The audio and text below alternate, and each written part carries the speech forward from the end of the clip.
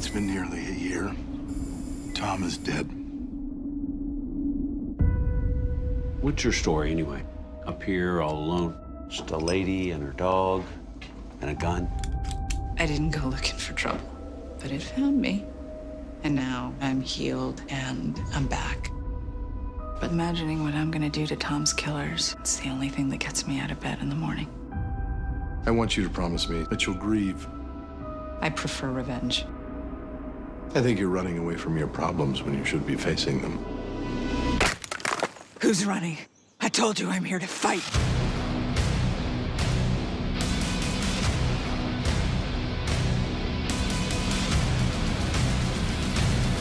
For the first time, I'm feeling pretty alive. So if you want to come for me, you better come ready. The Blacklist returns January 3rd on NBC.